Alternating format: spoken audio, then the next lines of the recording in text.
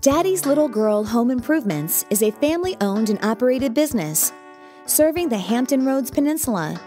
With over 20 years of experience, we provide expert insight for customers seeking home improvements, roofing, decks, patios, home renovations, kitchen remodeling, bathroom updates, fences, sunrooms, and much more.